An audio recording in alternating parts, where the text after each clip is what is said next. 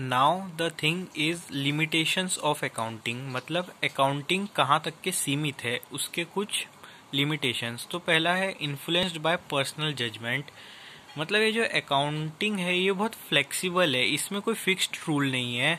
अगर कोई बंदा अपने हिसाब से अकाउंटिंग कर रहा है और दूसरा बंदा अलग कर रहा है तो दोनों की सही हो सकती है. ऐसा ज़रूरी नहीं है कि इसमें फिक्स्ड रूल रहे. तो इसलिए it is influenced by personal judgement also second is recording only monetary terms मतलब क्या? ये केवल मॉनेटरी टर्म्स को ही रिकॉर्ड करता है। Means there are many other factors which are responsible for the success of business like qualitative elements are ignored example how many number of honest employees are there in a company and how hard worker is manager. So, these things are being ignored in the accounting.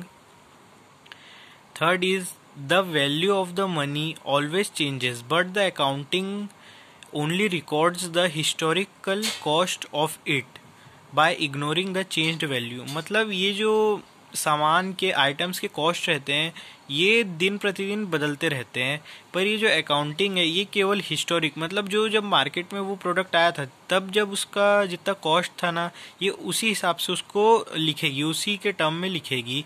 Ignoring the changed value of it.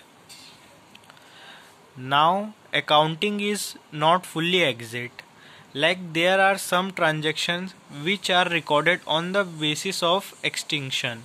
Means if you have gi- given the loan to the 10 person and you are estimating the 3 person can repay the loan and the other can't uh, repay the loan. But this may be right may be wrong means it is not fully exact. Therefore accounting does not provide fully exact uh, situation.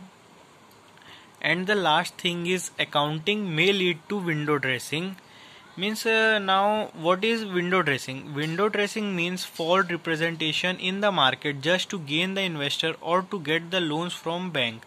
इसका मतलब क्या? जैसे हम market में mobile खरीदने गए और हमें उसके फीचर्स कुछ और बताएगा पर उसके फीचर्स कुछ और थे तो इसका मतलब होता है विंडो ड्रेसिंग करना। वो विंडो ड्रेसिंग कर रहा था इसलिए ये भी अकाउंटिंग में होता है। और विंडो ड्रेसिंग को मैन्युपुलेशन भी कहते हैं।